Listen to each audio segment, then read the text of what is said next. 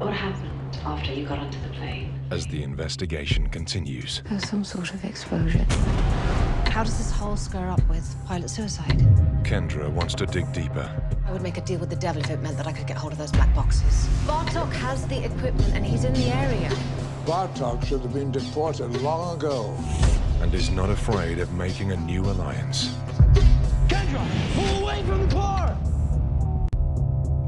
Universal TV first. Departure continues Wednesday at 9 on Universal. And if you missed the previous episode, watch it now on Catch Up.